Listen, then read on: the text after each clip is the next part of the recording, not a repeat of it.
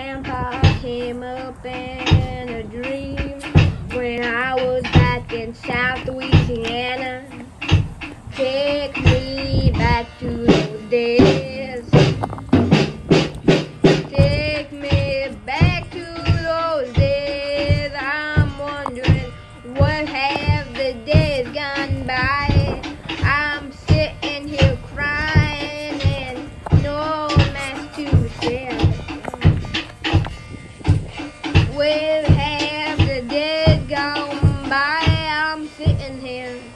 na